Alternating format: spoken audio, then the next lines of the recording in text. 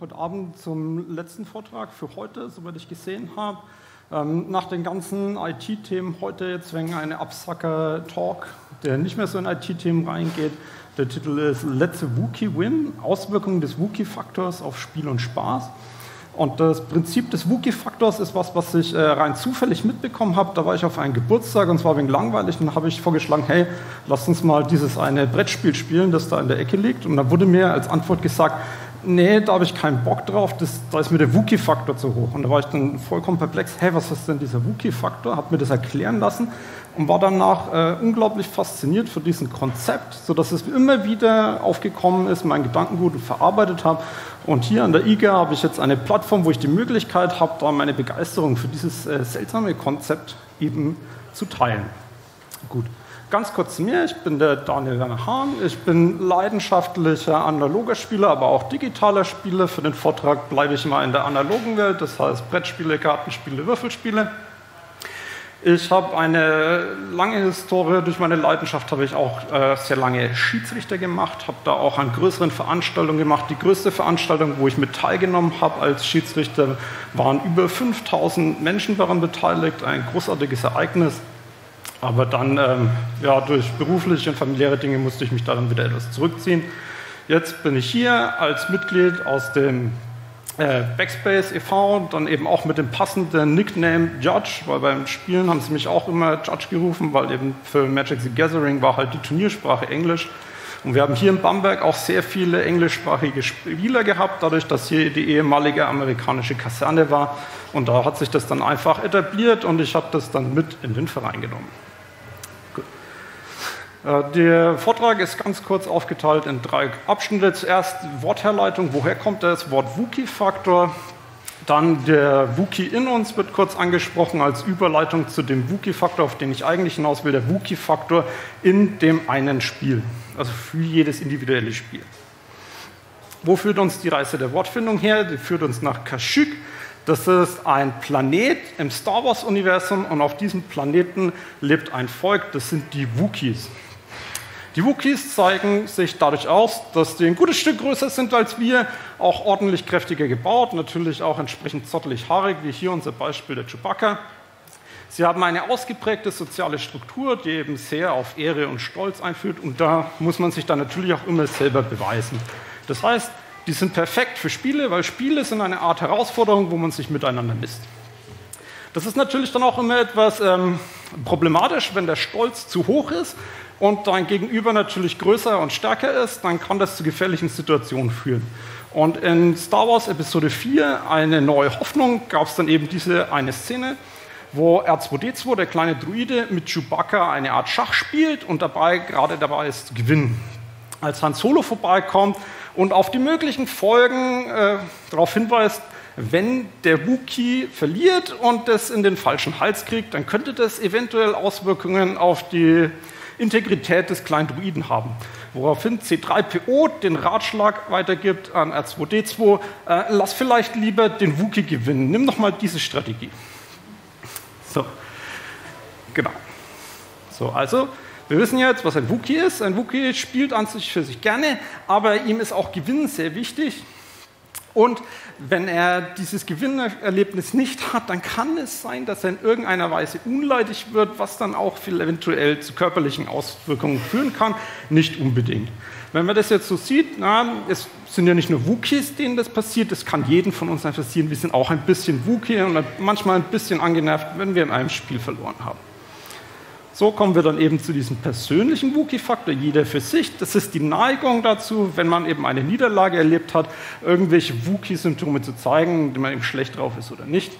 Das kann man wunderbar als, als Wahrscheinlichkeitswert darstellen, eben in einem Wertebereich von 0 bis 1. 0 heißt, ich werde niemals ein Wookie, 1 ist, ich werde immer danach durchdrehen in irgendeiner Art und Weise oder halt äh, ein, ja, ein Verhalten ans Licht legen, das eben zeigt, dass mich das jetzt irgendwie mitgenommen hat, dass ich verloren habe.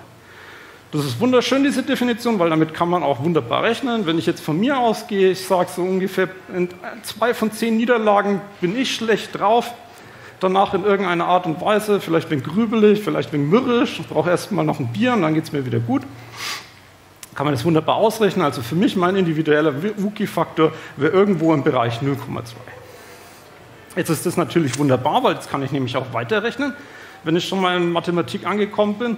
Und zwar sage ich jetzt, wenn ich jetzt weiß, dass ich ein bisschen Wookie bin, wie viel ist sicher für mich zu spielen? Also wie viele Spiele kann ich spielen, ehe ich aufhören sollte, bevor ich zum Wookie werde?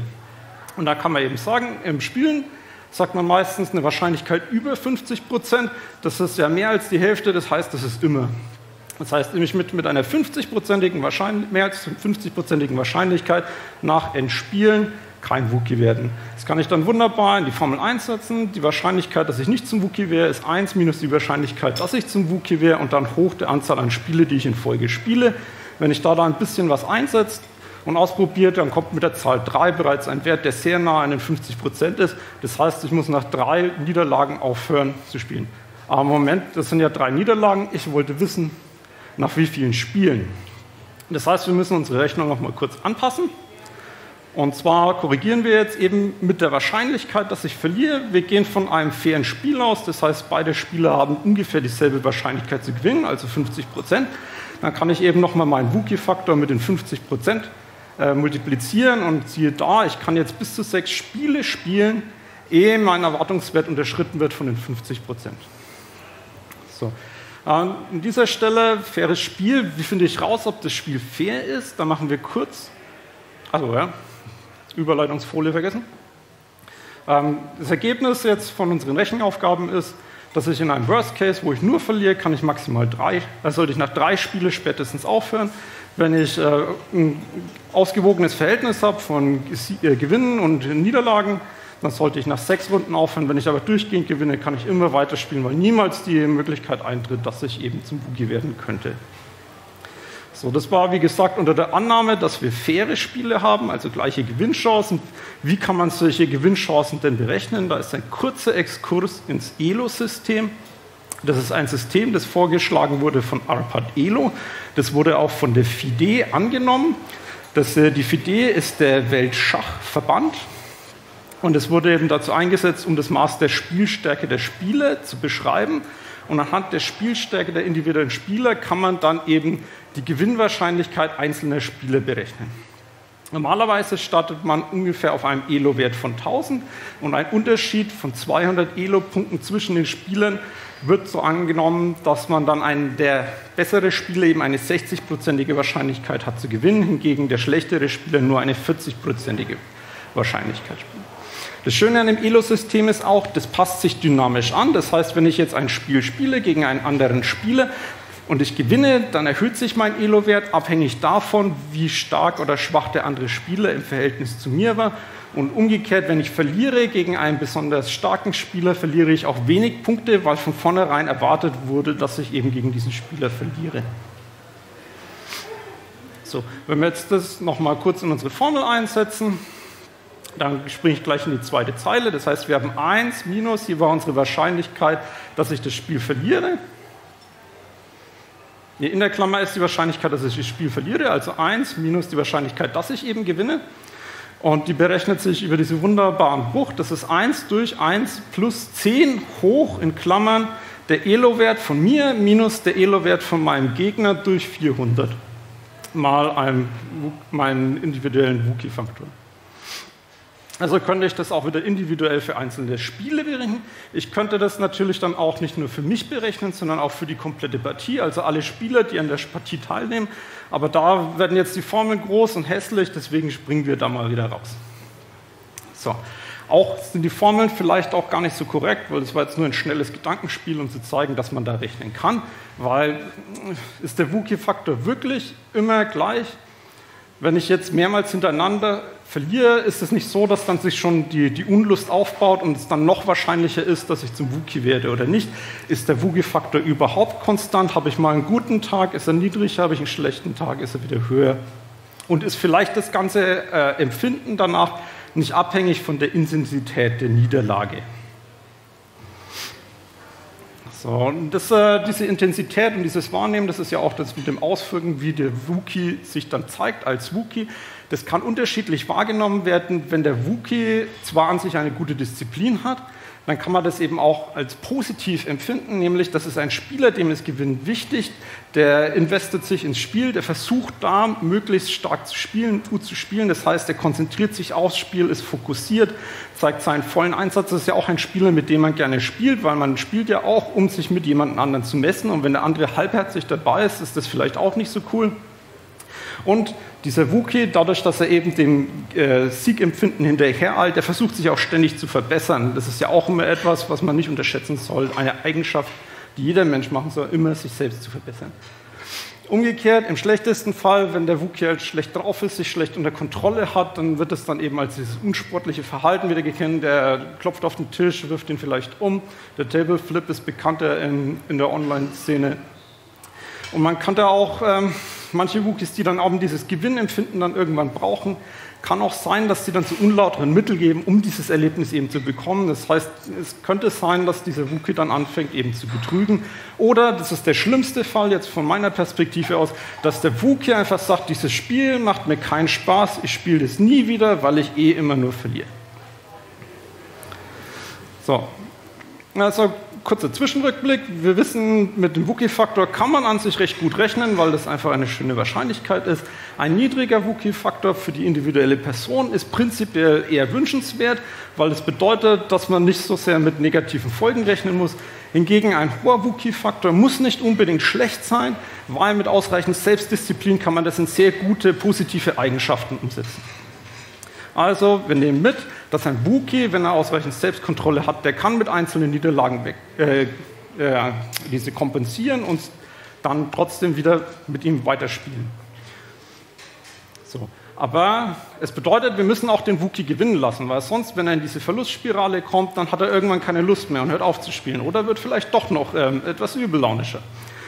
Nur, wie kriegt man das jetzt hin, dass der Wookie gewinnt? Na, man könnte ihn als allererstes natürlich absichtlich gewinnen lassen. Das macht demjenigen, der ihn gewinnen lässt, natürlich keinen Spaß. Und wenn der Wookie rausfindet, dass man ihn absichtlich gewinnen lässt, könnte es ihm vielleicht auch nicht so gefallen. Eine andere Variante ist, man spielt nur zusammen mit dem Wookie. Also man sucht äh, gezielt Spiele, wo man nur als Gruppe gewinnen kann und es gar nicht so das Kompetitive zwischen den Personen ist. Funktioniert allerdings ist es nur dann, wenn auch die Gruppe insgesamt regelmäßig gewinnt. Und wie das andere ist wieder, wenn wir jetzt zurückerinnern an den Elo-Faktor, wenn der Wookie der Spieler ist mit dem höchsten Elo-Faktor, würde er natürlicherweise einfach jede Zeit regelmäßig gewinnen.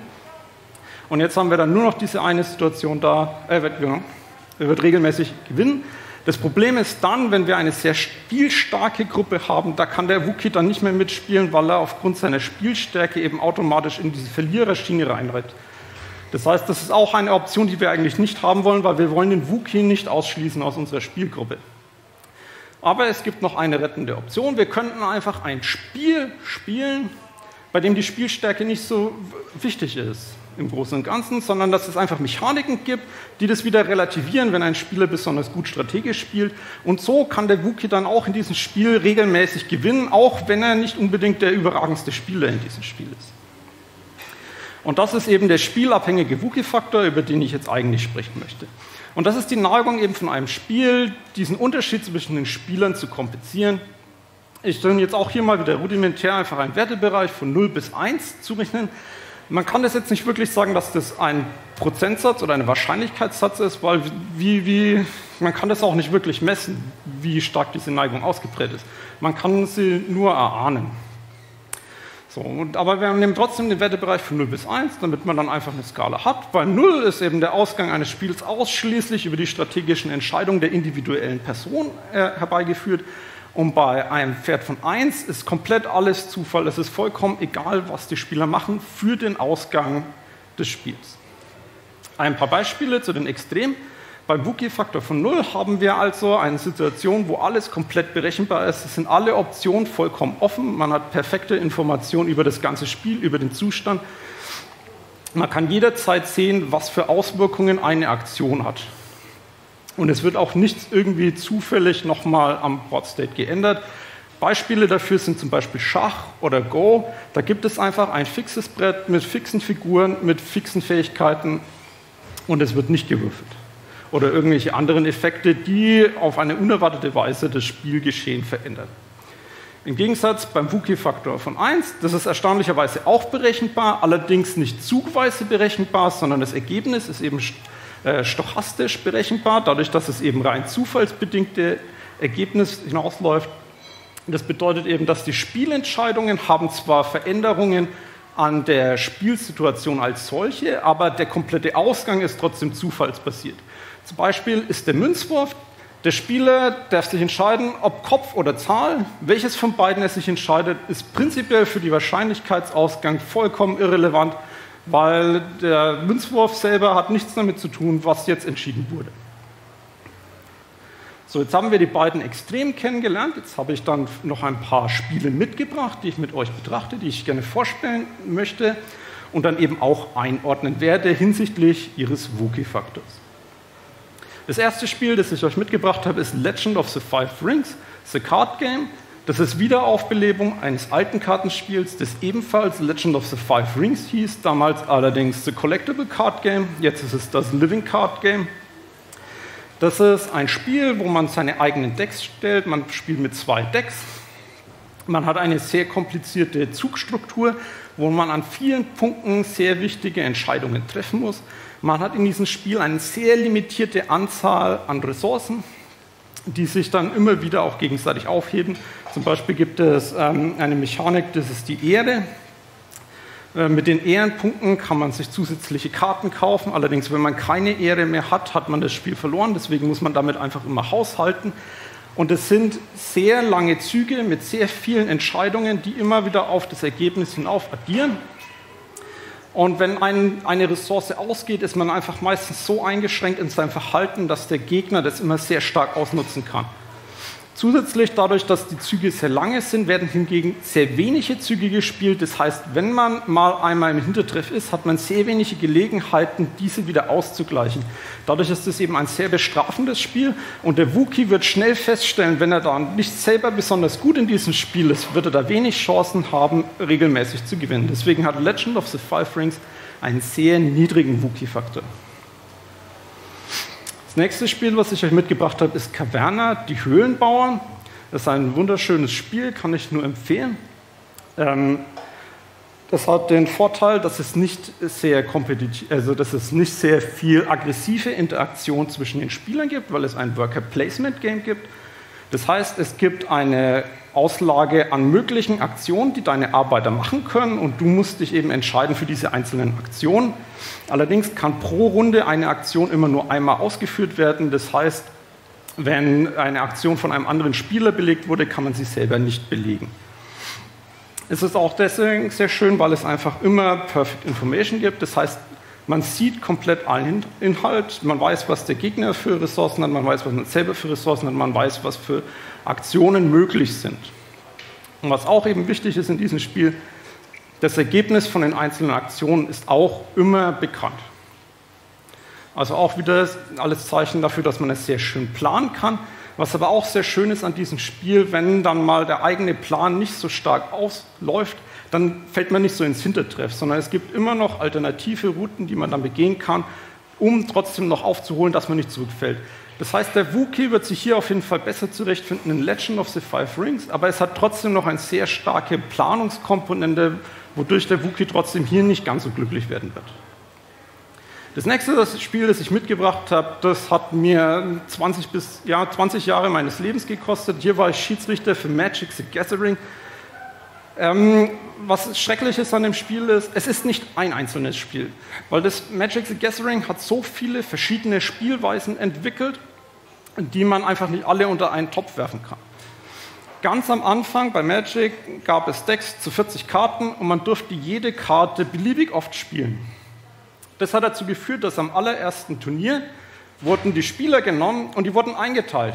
Es gab eine Kategorie für Spieler, die in der ersten Runde gewinnen und eine Kategorie für Spieler, die länger Zeit brauchen. Das hat sich dann nach und nach verbessert. Und es gab dann viele andere Formate. Es gab dann Format Typ 1, Format Typ 2, Format 1.5. Dann wurde umgestellt auf Legacy, Vintage, Modern, Standard. Und was dann auch alles noch angekommen ist. Und das Je nachdem, in welcher Szene man sich bewegt, hat man einen anderen Wookie-Faktor. In der Turnierszene, bei den großen Turnieren, muss man über viele Runden hinweg einen konsequenten Erfolg haben. Das heißt, hier spielt man eher Decks, die eher konsistent in ihrer Zugfolge sind, die immer wieder dieselben Effekte haben und dadurch eben sehr über viele Spiele hinweg einfach gleich performen. Hingegen, wenn man eher in die Casual-Szene geht, wo man nur ein Spiel oder zwei Spiele mit demselben Spieler spielt oder überhaupt über den Abend verteilt, dann spielt man eher die Decks, die so Hop- oder Flop-Mechaniken haben. Ne? Zum Beispiel das neue Format, das jetzt am beliebtesten ist, ist Commander. Das ist ein 100-Karten-Singleton, das heißt, man hat ein Deck mit 100 Karten. Jede Karte darf aber nur einmal drin sein. Das heißt, dass man genau die eine Karte, die besonders stark ist, zieht, ist sehr gering. Dadurch wird sich eben eine sehr hohe Varianz in den Spielen und es ist nie gleich. Und hier dann auch der Wookie wieder große Chancen, dass er gewinnt, einfach dadurch, dass er das Glück hat, dass er die guten Karten zieht und der Gegner vielleicht etwas langsamer unterwegs ist. Während am Turnier, wo die Decks darauf getrimmt sind, dass sie immer wieder gleich stark performen, er immer wieder schauen muss, ob das bei ihm so klappt. Also hier im Magic the Gathering sehr diverses Spiel, eben Wookie-Faktor von niedrig bis hoch alles vertreten. Nächstes Spiel ist eins meiner Lieblingsspiele, Galaxy Trucker. Es wird betitelt als Tile-Laying Racing Game. Das kommt daher, dass es in zwei Phasen aufgeteilt ist. Ähm, aber ja, ich, ich gönne mir den Spaß und erzähle kurz die Story von Galaxy Trucker, ist nämlich die, man ist ein Weltraumtrucker und in der Zukunft ist immer noch das Problem, dass die Leute aufs Klo müssen und für Klo braucht man Rohre. Deswegen müssen durchs Weltall Rohre transportiert werden. Jetzt könnte man die Rohre einfach auf ein Raumschiff legen, aber das ist recht ineffizient, weil viel effizienter wäre es, wenn man das Raumschiff einfach aus Rohren baut und dann vor Ort auseinanderlegt. Und das ist eben der Teil von diesem Spiel. Das heißt, am Anfang gibt es einen Haufen von Rohren mit mit Raumschiffmodulen angeschlossen und man baut zuerst, steckt sich sein Raumschiff zusammen aus diesen Modulen. Dafür gibt es einen großen Haufen in der Mitte, wo die Leute gleichzeitig sich eben verdeckt die, die Chips spielen und dann schauen, dass sie möglichst gutes Raumschiff zusammenbauen mit vielen Antrieben, vielen Kanonen, vielen Cargotransportern, damit sie noch mehr Waren mittransportieren können, mit viel Crew und allem. Wunderschönes Spiel und danach wird um die Wette geflogen, weil Weltraum ist leer und langweilig. Kann man auch ein Rennen spielen mit den anderen Leuten, die auch unterwegs sind. Und dann gibt es eben über diese Strecke hinweg, weil man besonders schnell unterwegs ist, spielt man nicht die, die sicherste Route, sondern nimmt ein paar Abkürzungen durch gefährliche Territorien unterwegs. Und dann gibt es Flugkarten, die sehr zufällige Ereignisse haben können. Und äh, diese zufälligen Ereignisse können sehr überraschend und verheerend sein. In einem meiner Spiele habe ich zum Beispiel ein wunderschönes Raumschiff gehabt. Ich hatte Kanonen und Schilde zu allen Richtungen. Allerdings ist da auf meinem Schiff eine Epidemie ausgebrochen.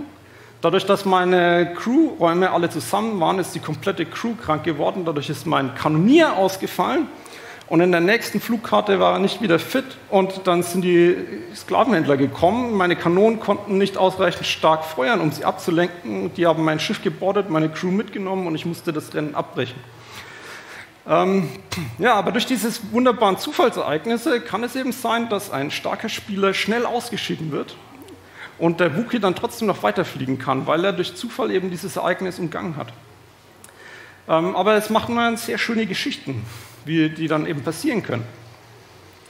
Also Galaxy Trucker, wunderschönes Spiel, hoher Wookie-Faktor, der allerdings mit Erfahrung auch ein wenig zurückgeht, weil das Spiel hat auch sehr viele Mechaniken, um den Zufall ein wenig Herr zu werden. Zum Beispiel kann man während der Bauphase eine Auszeit nehmen, während die anderen weiterbauen, kann man sich die Prognose für den Flug anschauen und hat damit ein bisschen Ahnung, was für Karten kommen könnten. Genauso beim Bauen, wenn man Bauteile nicht anlegt, kann man die offen wieder zurücklegen und wenn es jeder Spieler macht, hat man dann auch mal eine Auswahl von offenen Bauteilen, die man eben bauen kann und schaut, ob da etwas Passendes ist. Sehr gutes Spiel, kann ich nur empfehlen. Das letzte Spiel, das ich vorstellen möchte, ist Blood Bowl, The Game of Fantasy Football. Es ist ein wunderbares Spiel, das es einfach geschafft hat, diese Emotion, die es beim Fußball, die man im Stadion sieht, tatsächlich in dieses Brettspiel überzuführen. Also ich habe noch nie ein Spiel gespielt oder gesehen, dass es gespielt wird, das mit so viel Emotion verbunden wird. Weil es ist ein, wie bei äh, Football, jeder Spieler hat eine Mannschaft, die spielen gegeneinander, müssen einen Touchdown ins andere Spiel machen. Aber alle Aktionen, die passieren, sind zufallsbasiert. Man muss würfeln. Das meiste, was passiert ist, es passiert nichts. Aber es kann auch was passieren und das kann entweder gut oder negativ sein.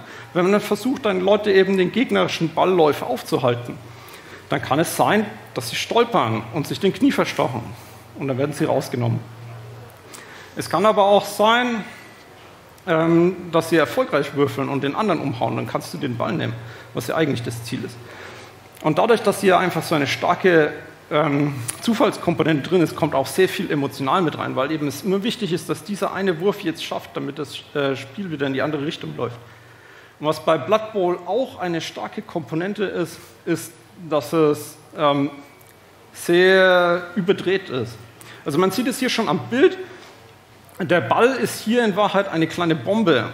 Und es kann eben auch passieren. Als ich gesagt habe, alles ist zufallsbasiert, habe ich das auch gemeint. Das geht los beim Wetter. Wenn das Spiel startet, wird gewürfelt, welches Wetter es ist. Mit Pech spielt ihr in einem Blizzard. Mit Glück einfach nur ein sonniger Tag. Mit äh, etwas weniger Glück ist es eine brennende Sonne und die Leute können nicht so gut sehen. Es kann sein, dass beim Schiri-Event, wenn der Schiri würfelt, äh, plötzlich die Fans aufs die Bühne, aufs äh, Spielfeld stürmen und die anfangen, die ganzen Spieler zu verprügeln. Sehr abgefahren, auf jeden Fall. Und auch die Teams an sich, weil es ist Fantasy. Es gibt nicht nur Menschen, es gibt auch Zwerge, Elfen, Orks, Goblins. Und die bringen ihre eigenen Regeln mit aufs Spiel. Die Zwerge zum Beispiel dürfen eine Dampfwalze mit aufs Spiel stellen. Und äh, wenn man Football mit einer Dampfwalze spielt, ist das ein ganz anderes Gefühl. Natürlich ist, äh, denkt man sich auch irgendwie, dass es ähm, kann ja nicht sein, dass jemand mit einer Dampfwalze auf das fällt. Und das ist auch so, das ist ein, zählt als eine versteckte Waffe. Und der Schiri wird dann spätestens zur Halbzeit, wenn der freundliche Zwerg auf der Dampfwalze seinen Motor ausgeschalten hat, hat der Schiri dann auch genug Mut, um diesen Zwerg darauf anzusprechen, dass das nicht erlaubt ist, mit dieser Dampfwalze aufs Spielfeld zu schwingen. Und ja, also dieses Spiel, dadurch, dass es stark zufallsbasiert ist, dadurch, dass abgefahrene Strategien möglich sind, dadurch, dass diese äh, Teams so verrückt sind, hat einfach einen riesigen Wookie-Faktor. Ähm, genau, also ein wunderschönes Spiel, fangt es nicht an. Es ist einfach zu emotional für die meisten Leute, das dann zu spielen. Also ich habe viele erlebt, die das dann einfach äh, emotional nicht mehr durchgestanden haben, wenn da einfach ihre Spieler Pech hatten und die Pechsträhne das ganze Spiel vernichtet hat. Okay. Ähm, tun wir das jetzt Ganze mal wieder einsammeln, was ich jetzt alles erzählt habe. Wir haben Spiele mit einem niedrigen Wookie-Faktor, die zeichnen sich vor allem dadurch aus, dass sie eben eine starke Planungskomponente haben. Das führt zu einer vielen strategischen Entscheidungen Vorteil für das Plan braucht man natürlich die Mechanik, dass das, was du machst, das passiert auch wirklich in der Form. Das ist die What you see is what you get. Du siehst diese Aktion, du weißt, was das Ergebnis dieser Aktion ist. Und was damit auch immer einhergeht, es gibt klare, übersichtliche Regeln. Die Wahrnehmung von solchen Spielen kann natürlich auf der positiven Seite sein, dass man eben die Belohnung hat, dass die Spielentscheidungen wirklich eine Relevanz für das Ergebnis haben und man sich eben darauf berufen kann, dass man eben wirklich die richtigen Entscheidungen getroffen haben. Der Wiederspielwert in diesen Spielen ist dann meistens dadurch begeben, dass man halt die Strategie variieren muss, je nachdem, wie der Gegner äh, seine Strategie ausfährt. Und auch toll an diesen Spielen ist einfach, dass die Erfahrung, die man dieses Spiel hat, dass die sich lohnt. Das heißt, jedes Mal, wo ich spiele, lerne ich was dazu, werde das nächste Mal besser. Umgekehrt ist es natürlich schlecht für Anfänger, weil die sind erstmal benachteiligt, weil die müssen erst dieses Spiel kennenlernen. Die kennen diese überlagerten Strategien meistens nicht. Und das ist dann einfach in vielen Fällen eine Investmenthürde, überhaupt dieses Spiel anzufangen. Legend of the Five Rings ist eben ein wunderschönes Spiel. Es hat schöne Regeln, äh, wunderbare Mechaniken, wo man sich eben sehr äh, viel reinstrengen kann. Aber dieses Spiel anzufangen, zu verstehen und dann auch noch sich für sich selber eine eigene Strategie zu finden, das ist einfach für viele Spieler viel zu viel.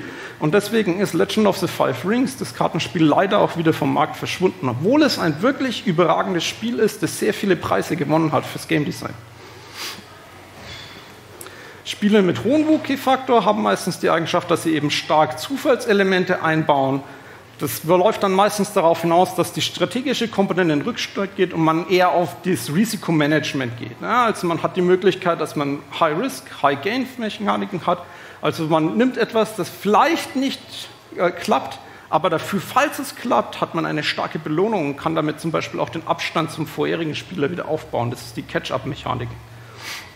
Oder eben in anderen Spielen wie in Caverna, dass auch wenn die eigene Strategie gerade blockiert ist, man über alternative Routen immer noch eine gute Punktezahl machen kann. Mit dieser hohen Wookie-Faktor kommt auch oft dazu, dass es chaotische Regeln gibt, wie eben bei Blood Bowl, wo man äh, die Goblins jemanden mit einem Beutel Bomben aufs Feld schicken kann. Oder die Dunkelelfen einfach mit ihren Messer gezückt aufs Spielfeld können. Sehr chaotische Sachen. Man kann das dann alles nicht im Blick haben, weil das einfach so divers und meistens immer so Edge-Regeln sind, dass man die nicht auf dem Blick hat. Die Wahrnehmung der Spiele ist eben dann auch das, dass es eben die Zufallselemente meistens als Gleichmacher gesehen werden, im positiven Sinne. Also der Wiederspielwert kommt hier dann meistens nicht dadurch, dass man bestimmte Strategien verfolgt, sondern einfach durch die Abwechslung, weil man sich immer wieder auf die neuen Wahrscheinlichkeiten, was sich einfach ergibt, damit muss man arbeiten und es gibt Abwechslung und das ist dann eben dieser Wiederspielwert in diesen Spielen. Außerdem, dadurch, dass eben viel Zufall mit dabei ist, kann man außergewöhnliche Situationen machen. Ähm, wie zum Beispiel der Fall mit dem perfekt ausgerüsteten Raumschiff, wo dann plötzlich kein Kanonier mehr da war. Das passiert nicht immer, aber es passiert dann mal und dann kann man davon erzählen, was da passiert ist. Oder beim äh, Rollenspielen ist es ja auch so, da gibt es die kritische Treffermechanik, den Natural 20 bei D&D. Äh, wenn man eine 20 würfelt, ist es immer ein Treffer. Und wenn man, äh, es gibt eine inoffizielle Regel, die sagt, wenn man dann diesen Treffer, den kritischen Treffer mit der 20 nochmal mit einer 20 bestätigt, dann ist der Gegner sofort besiegt. Und so kann es dann auch passieren, dass eben ein Startspieler, der keine Ahnung von nichts hat, durch puren Zufall den großen, mächtigen Drachen besiegt. Und das sind dann wieder Erlebnisse, von denen man erzählen kann. So, aber was sind jetzt die, kann, was sind dann schlecht an diesem Wookie-Faktor? Wie kann man das schlecht auffassen? Und zwar sind es dann einfach diese Spielentscheidungen ohne Relevanz. Das heißt, es kann passieren, dass man sich für eine Aktion entscheidet und der pure Zufall sorgt dafür, dass einfach nichts passiert oder was Negatives passiert oder das komplette Gegenteil, was man eigentlich wollte. Das sind eigentlich eher schlechte Erfahrungen, die man da macht. Und was halt auch schlecht ist an einem stark zufallsbasierten System, ist natürlich, wenn jemand eine Glückssträhne hat, kann man ihn nicht besiegen. Einer von unseren amerikanischen Spielern hat immer gesagt, I'd, be, uh, I'd rather be lucky than have skill. Also because a skill can be beat, luck cannot. Also ich habe lieber Glück, als dass ich ein guter Spieler bin, weil gute Spieler können immer besiegt werden, aber eine wirkliche Glückssträhne, die kann man einfach nicht besiegen. So. Was möchte ich euch jetzt noch mitgeben auf diesem Vortrag? Lasst den Wookie gewinnen, schließt den nicht aus, nehmt ihn mit in eure Gruppe, findet einfach ein Spiel, das ihm auch passt Probiert das Konzept Wookie-Faktor bei euch zu Hause aus, wenn ihr das nächste Mal ein Spiel habt. Überlegt euch, ha, hat das einen Wookie-Faktor, hat das keinen Wookie-Faktor? Wenn ihr euch mit anderen Leuten messen wollt, wirklich, um zu schauen, wer der Bessere ist, sucht euch ein Spiel mit einem niedrigen Wookie-Faktor, wo das Zufall euch nicht so sehr ablenkt und es vertuscht. Wenn ihr einfach eine gute Zeit haben wollt, holt euch ein Bier- und Brezenspiel mit hohem Wookie-Faktor und dann schaut einfach, was da passiert für abgefahrene Dinge. Und mit dieser Message möchte ich mich bedanken für die Aufmerksamkeit und ich bin jetzt da für eure Fragen, jetzt hier gleich oder dann abseits der Bühne oder auch gerne per Mail an meine äh, Backspace-Mail. Vielen Dank.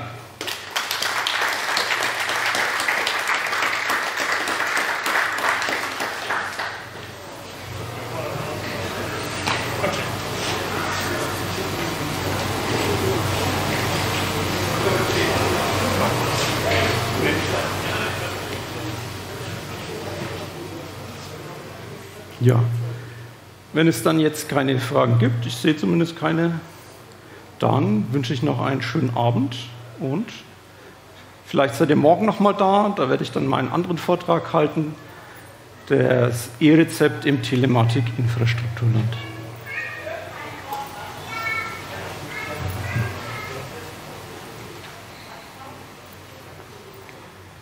So, vielen Dank dir, Daniel, für deinen tollen Vortrag.